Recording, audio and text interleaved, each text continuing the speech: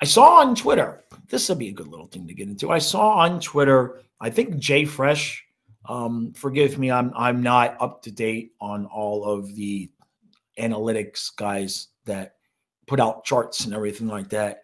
Um, but long story short, is I was tagged to a thread where basically they're wondering, what did you do to Huberdeau? What happened to Huberdeau? And I would like to present as evidence all of the other years I was doing recaps except for last season, where I just consistently and constantly bitched about how not just the overpassing, but the coasting. It were it, I constantly would complain. I said that if he ever turned it on and he ever played with that edge, that he would be the best player on the team. And and uh, we just I felt, and a lot of us felt, but I'm the one that said it. So I'll take not credit for it, I'll take blame for it. I would consistently say he just doesn't look like he's using his talent to the best of his ability. He can do more. He can he can do more. He's better than this. And of course, I get killed for it. And then last year happened, and wouldn't you know it? I don't know. I keep saying it. Nobody really wants to touch it. But last year, Huberdeau was playing for his big contract. Last year, Huberdeau was playing for his big contract. And wouldn't you know it, the overwhelming majority of the season, he played with an edge that we hadn't seen. There wasn't any coasting around. The overpassing kind of stopped a little bit too. He was definitely shooting more. He decided, I think I want to play PK. Okay.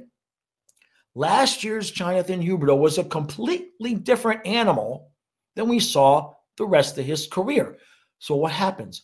The entire league is paying attention to the Panthers last season because we were so damn good. And people think that player that they saw last year is Jonathan Huberdeau. Eh, and not.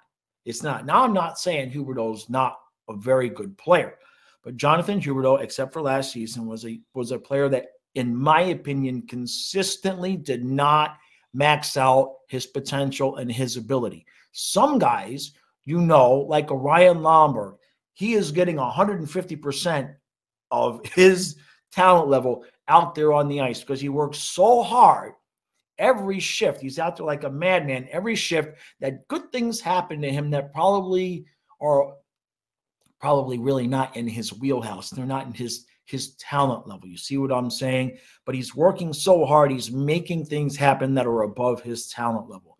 With Huberdeau, the opposite has been true with the exception of last season.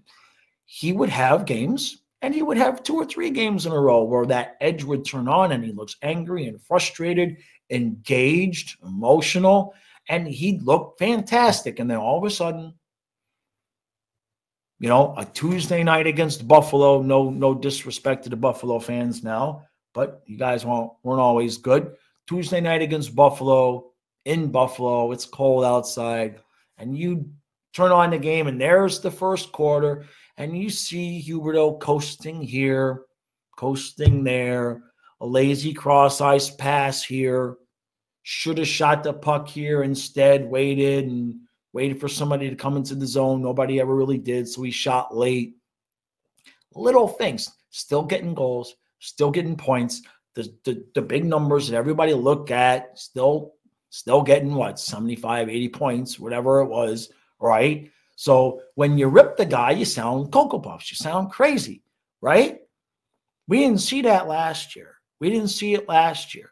And I'm just saying, I'm not trying to disrespect the kid. I, I, I, he was a huge part of my Panthers for a long time, but this is this is not new. This is not hindsight for me. Every single year, I would say the same thing. He's coasting. I wish this kid would turn it on and just stay on because I believe he's the best player on the team, and it would it would it would stand out. It would show the difference between how he's been playing where he's maybe giving 85%. And if he ever just came to the rink every day and gave 100, 110% on ice.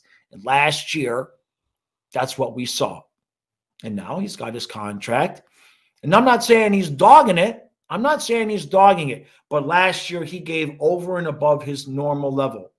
Like Matthew Tkachuk, when he goes out there, you know, 99% of the time, he's like he's gonna be like a Tasmanian devil. He's a maniac out there on the ice most nights. You're not gonna question his his commitment, his effort level. Okay. But with Huberdeau, except for last season, if you guys are, you know, what I'm seeing a lot of Calgary Flame fans complaining about, that's him. That's him. Last year was the enigma. Last year was the outlier.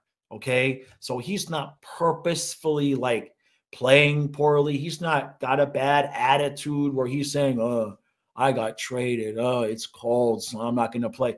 No, this is the dude.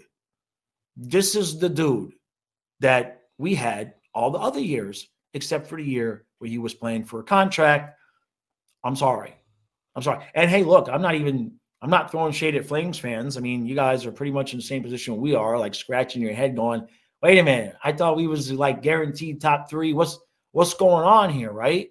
I haven't looked at the standings recently, but basically, both fan bases are a little perplexed at this point. There's the point here is that, this is specifically for Flames fans, it's not going to change. There's there's no magic bullet there's nothing that's going to change that's going to bring him back to the level that he was with the Panthers last year. This is the guy. My apologies. Okay. I, I said it for six, se- five seasons because last year was six. This is seven. So the other five, I bitched about Huberdeau the same way you guys are bitching about him now. Nobody want to hear nothing from me because I'm just crabby old man yelling at the cloud. I get it but is what it is. So thanks for Tkachuk.